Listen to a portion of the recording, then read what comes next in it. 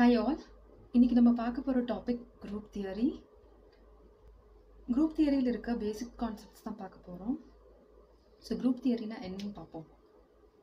Group தியரினா mathematical study of symmetry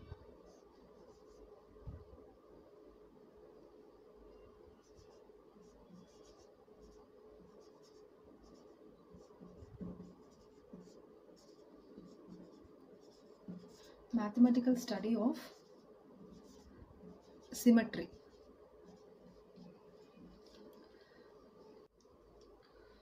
So mathematical study of symmetry தான் வந்துட்டு group theory இந்த சிமெட்ரின்றது நம்மளை சுற்றி இருக்கிற நிறைய ஆப்ஜெக்ட்ஸில் இருக்குது ஜாமெட்ரிக்கல் ஃபிகர்ஸான ஒரு ஸ்கொயராக இருக்கட்டும் இல்லை ஒரு ரெக்டாங்கிளாக இருக்கட்டும் இல்லை ஒரு ஈக்குவலேட்டல் ட்ரையாங்கிளாக இருக்கட்டும் எல்லாத்துலேயுமே வந்துட்டு இந்த சிமெட்ரி இருக்குது இப்போ ஒரு கிறிஸ்டல்லையோ இல்லை ஒரு மாலிகுலையோ எப்போ சிமெட்ரி இருக்குன்னு நம்ம சொல்லுவோம் அப்படின்னா அந்த கிறிஸ்டல்லையோ இல்லை மாலிகுல்லையோ two or more orientations in space இருக்கணும். அந்த ஓரியன்டேஷன்ஸ் ஒரிஜினல் ஓரியன்டேஷனோட இன்டிஸ்டிங்விஷபிளாக இருக்கணும். இன்டிஸ்டிங்விஷபிள் ஸோ அந்த ஓரியன்டேஷன்ஸ் கிடைக்கிற ஓரியன்டேஷன்ஸ் வந்துட்டு ஒரிஜினல் ஓரியன்டேஷனோட இன்டிஸ்டிங்விஷபிளாக இருந்தால் அந்த மாலிகுல்லையோ இல்லை அந்த கிறிஸ்டல்லையோ சிமெட்ரி இருக்குது அப்படின்னு நம்ம சொல்லலாம். ஸோ சிமெட்ரி பற்றி படிக்கிறதுக்கு முன்னாடி நம்மளுக்கு இந்த நாலு டேர்ம்ஸ் என்னன்னு தெரிஞ்சிருக்கணும். ஃபர்ஸ்ட் வந்துட்டு இன்டிஸ்டிங்விஷபிள் அடுத்து எக்ஸாக்ட் ஓரியன்டேஷன் அடுத்து ஈக்குவலண்ட் ஓரியன்டேஷன் ஃபோர்த்து வந்துட்டு ஐடென்டிக்கல் ஓரியன்டேஷன்ஸ் இப்போ இந்த நாலு டேர்ம்ஸ் என்னன்றதை நம்ம பார்ப்போம். ஃபர்ஸ்ட் வந்துட்டு இன்டிஸ்டிங்விஷபிள் ஓரியன்டேஷன்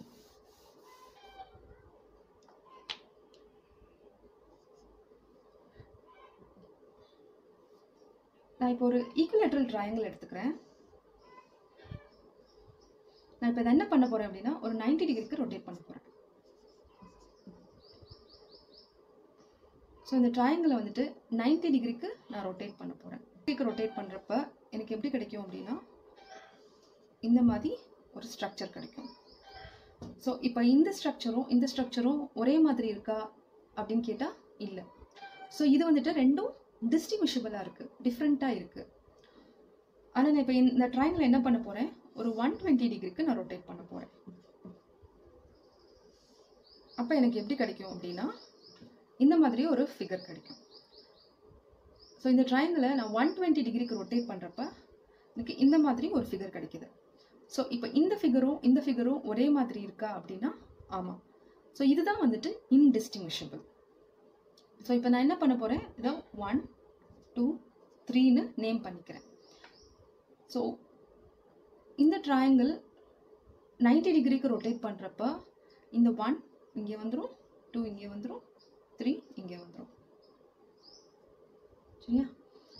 இதே ட்ரையாங்கிள் இப்போ நான் ஒன் டுவெண்ட்டி டிகிரிக்கு ரொட்டேட் பண்ணுறப்ப இந்த ஒன் இங்கே வருது டூ இங்கே வந்துடும் த்ரீ இங்கே வந்துடும் ஸோ இப்போ நம்ம லேபிள் பண்ணியிருக்கிறதுனால தான் இந்த கார்னர்ஸ் எல்லாம் டிஃப்ரெண்ட்டான கார்னர்ஸ் அப்படின்னு நம்மளுக்கு தெரியுது.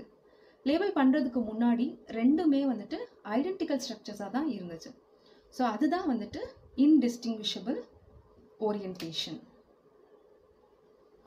ஒரு ஸ்கொயர் எடுத்துக்கலாம். ஸோ இந்த ஸ்கொயரோட நாலு கார்னரை நான் இப்போ லேபிள் பண்ண போகிறேன் ஒன் டூ த்ரீ ஃபோர் சரி? இப்போ இந்த ஸ்கொயரை நான் ஒரு நைன்டி டிகிரிக்கு ரொட்டேட் பண்ண போகிறேன் நைன்டி டிகிரிக்கு ரொட்டேட் பண்ணுறப்போ இந்த கார்னர்ஸ் எல்லாம் மாறி இருக்கு. ஆனால் ஷேப் எப்படி தான் இருக்குது ஒரு ஸ்கொயர் மாதிரி தான் இருக்குது ஸோ அதனால தான் இந்த ஷேப் வந்துட்டு இன்டிஸ்டிங்விஷபிள் ஸோ ஒரிஜினலாக இருந்த இந்த ஷேப் மாதிரியே ஓரியன் நைன்டி டிகிரிக்கு ரொட்டேட் பண்ணதுக்கப்புறம் கிடைக்கிற இந்த ஷேப் இருக்கிறனால இது இன்டிஸ்டிங்விஷபிள் நான் அகெயின் ஒரு நைன்டி டிகிரிக்கு ரொட்டேட் பண்ணுறப்போ எனக்கு இன்னொரு இன்டிஸ்டிங்விஷபிள் ஷேப் கிடைக்குது. இன்னொரு நைன்டி டிகிரிக்கு ரொட்டேட் பண்ணுறப்பையும் அதே மாதிரி ஒரு இன்டிஸ்டிங்விஷபிள் ஓரியன்டேஷன் ஸோ இப்போது திருப்பி இன்னொரு நைன்டி டிகிரிக்கு ரொட்டேட் பண்ணுறப்போ ஃபர்ஸ்ட் இருந்த ஒரிஜினல் பொசிஷனே வந்துருச்சு.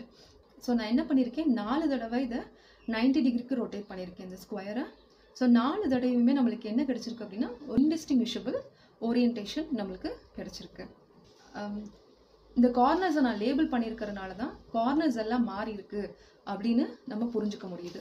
இந்த லேபிள் பண்ணலை அப்படின்னா இந்த கார்னர்ஸ் மாறினது நம்மளுக்கு தெரியாது. ஸோ இதுதான் வந்துட்டு இன்டிஸ்டிங்விஷபிள் ஸோ இப்போ நம்ம எக்ஸாக்ட் ஓரியன்டேஷனாக என்ன?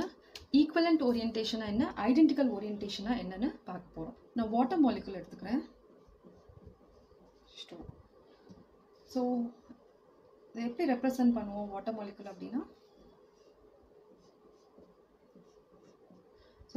ஸோ ஆக்சிஜன் ஆட்டம் இங்கே ரெண்டு ஹைட்ரஜன் ஆட்டம்ஸ் இந்த ஹைட்ரஜன் ஆட்டம்ஸை நான் லேபிள் பண்ணிக்கிறேன். இதை ஹெச் ஒன்னு எடுத்துக்கிறேன். இதை ஹெச் டூன்னு எடுத்துக்கிறேன். ஸோ இந்த மாலிகுலில் வந்துட்டு நான் எந்த ஒரு சேஞ்சும் பண்ணல. இதுதான் வந்துட்டு ஒரிஜினல் கான் கான்ஃபிகரேஷன் இல்லாட்டினா exact orientation exact orientation so இப்போ இந்த மாலிகுலை என்ன பண்ண போகிறேன் அப்படின்னா ஒன் எயிட்டி டிகிரிக்கு நான் ரொட்டேட் பண்ண போகிறேன் ரொட்டேட் பண்ணுறப்ப எனக்கு எப்படி கிடைக்கும் அப்படின்னா இந்த ஹைட்ரஜன்ஸ் ரெண்டும் இடம் மாறி இருக்கும். ஹெச் டூ இங்கே வந்துடும் ஹெச் ஒன் இந்த பக்கம் வந்துடும் so H two H one so இது பார்க்குறதுக்கு எப்படி இருக்குது அப்படின்னா இந்த ஸ்ட்ரக்சரோட சேமாக இருக்குது இன்டிஸ்டிங்விஷபிளாக இருக்குது ஸோ பார்க்குறதுக்கு இன்டிஸ்டிங்விஷபிளாக இருந்தாலும் ஹைட்ரஜன் ஆட்டம்ஸ் வந்துட்டு இடம் மாறி இருக்கு அது நம்ம லேபிள் பண்ணியிருக்கிறதுனால தெரியுது. ஸோ அதனால இதுக்கு பேர் என்ன அப்படின்னா ஈக்குவலண்ட் ஓரியன்டேஷன்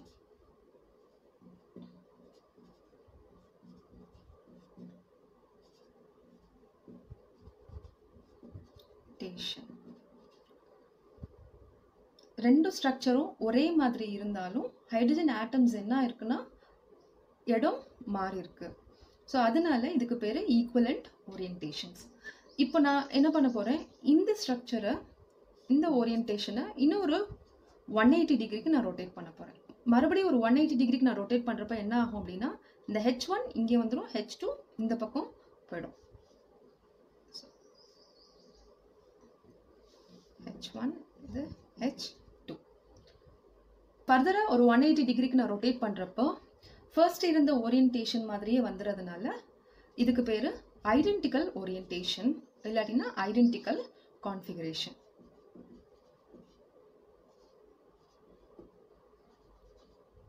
ஓரியன்டேஷன் ஸோ இதே வாட்டர் மாலிக்கல் தான் எடுத்திருக்கேன்.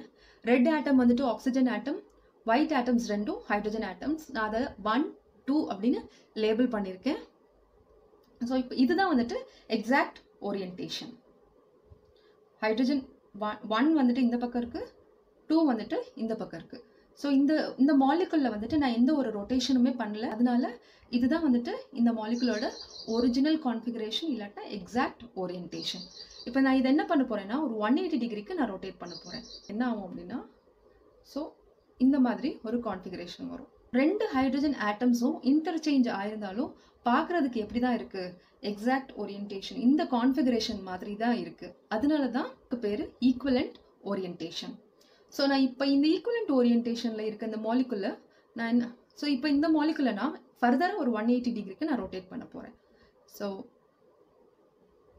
இன்னும் ஒரு ஒன் எயிட்டி டிகிரிக்கு ரொட்டேட் பண்ணுறப்ப ஹைட்ரஜன் ஹைட்ரஜன் ஹைட்ரஜன்ஸ் ரெண்டும் அதோட பொசிஷன்ஸ்க்கு வந்துடுது ஸோ இதுதான் வந்துட்டு எக்ஸாக்ட் ஓரியன்டேஷனில் ஹைட்ரஜன்ஸ்க்கு இருந்த பொசிஷன் ஸோ அதனால அதே கான்ஃபிகரேஷனில் இருக்கிறனால இதுக்கு பேர் ஐடென்டிக்கல் ஓரியன்டேஷன் ஸோ இதுதான் வந்துட்டு எக்ஸாக்ட் ஓரியன்டேஷன் என்ன ஈக்குவலண்ட் ஓரியன்டேஷன் என்ன ஐடென்டிக்கல் ஓரியன்டேஷன் ஸோ இப்போ நம்ம அடுத்து பார்க்க போகிறது சிமெட்ரி ஆப்ரேஷன்ஸ்னால் என்ன சிமெட்ரி எலமெண்ட்ஸ்னால் என்ன அப்படின்னு பார்ப்போம். ஸோ சிமெட்ரி ஆப்ரேஷன்ஸ்னால் என்ன அப்படின்னு பார்ப்போம். ஒரு மாலிகுலில் வந்துட்டு சிமெட்ரி இருக்கா இல்லையா அப்படின்னு எப்படி தெரிஞ்சுக்கிறது அப்படின்னா அந்த மாலிகுலில் வந்துட்டு சடன் ஆப்ரேஷன்ஸ் நம்ம பண்ணணும். ஸோ அந்த ஆப்ரேஷன்ஸ் தான் வந்துட்டு symmetry operations so symmetry operations என்னென்ன இருக்குது அப்படின்னா ஃபர்ஸ்ட் ரொட்டேஷன் அடுத்து reflection third inversion so symmetry operations வந்துட்டு த்ரீ டைப்ஸ் இருக்குது ரொட்டேஷன் ரிஃப்ளெக்ஷன் இன்வர்ஷன்ஸ் ஒரு மாலிகுல சிமெட்ரி இருக்கா இல்லையா அப்படின்னு நம்ம தெரிஞ்சுக்கிறோம் அப்படின்னா அந்த மாலிகுலில் ஏதாவது ஒரு ஆப்ரேஷன் பண்ணணும்.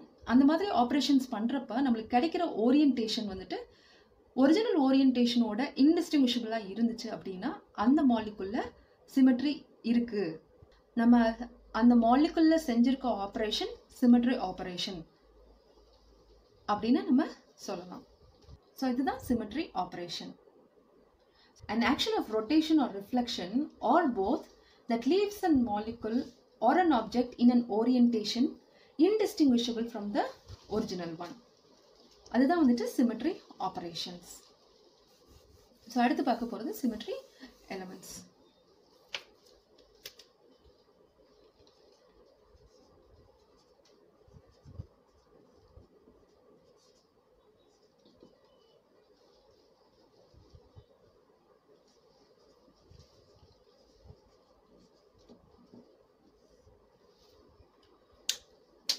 ஸோ இந்த சிமெட்ரி ஆப்ரேஷன் பண்ணுறதுக்கு தேவையான ஜாமெட்ரிக்கல் எலமெண்ட்ஸ் தான் என்னென்னா சிமெட்ரி எலமெண்ட்ஸ் ஸோ சிமெட்ரி எலமெண்ட்ஸ்னால் என்ன அப்படின்னா இப்போ நம்ம எந்த மாலிக்குள்ள சிமெட்ரி ஆப்ரேஷன்ஸ் பண்ண போகிறோமோ அந்த மாலிக்குள்ள இந்த சிமெட்ரி எலமெண்ட்ஸ்ன்றது ஒரு லைனாக இருக்கலாம் இல்லை ஒரு பாயிண்ட்டாக இருக்கலாம் இல்லாட்டினா ஒரு பிளெயினாக இருக்கலாம். ஸோ எந்த மாலிகுல நம்ம சிமெட்ரி ஆப்ரேஷன் பண்ண போகிறோமோ அந்த மாலிகுலில் ஒரு லைனாக இருக்கலாம் இல்லை ஒரு பாயிண்ட்டாக இருக்கலாம் இல்லாட்டினா ஒரு பிளெயினாக இருக்கலாம். ஸோ இதுதான் வந்துட்டு சிமெட்ரி எலிமெண்ட்ஸு ஸோ இதுதான் வந்துட்டு five types of symmetry elements identity அதை எப்படி டினோட் பண்ணுவோம்னா e ஈன் டினோட் பண்ணுவோம். ப்ராப்பர் ஆக்சிஸ் ஆஃப் ரொட்டேஷன் இல்லாட்டினா ரொட்டேஷனல் ஆக்சிஸ் ஆஃப் சிமெட்ரி அது வந்துட்டு சி என்னன்னு டினோட் பண்ணுவோம். தேர்ட் வந்துட்டு பிளேன் ஆஃப் சிமெட்ரி இல்லாட்டினா மிரர் பிளேன் இது வந்துட்டு சிக்மா அப்படின்னு டினோட் பண்ணுவோம். ஃபோர்த் சென்டர் ஆஃப் சிமெண்ட்ரி இல்லாட்டினா இன்வர்ஷன் சென்டர் இது வந்துட்டு ஐன்னு டினோட் பண்ணுவோம். ஃபிஃப்த் வந்துட்டு இம்ப்ராப்பர் ஆக்சஸ் இல்லாட்டினா ஆல்டர்னேட்டிங் ஆக்சஸ் ஆஃப் சிமெண்ட்ரி அதை வந்துட்டு எஸ்என் அப்படின்னு டினோட் பண்ணுவோம். ஸோ இதுதான் வந்துட்டு five types of symmetry elements இப்போ இதெல்லாம் ஒவ்வொன்றா என்னென்னு பார்ப்போம்.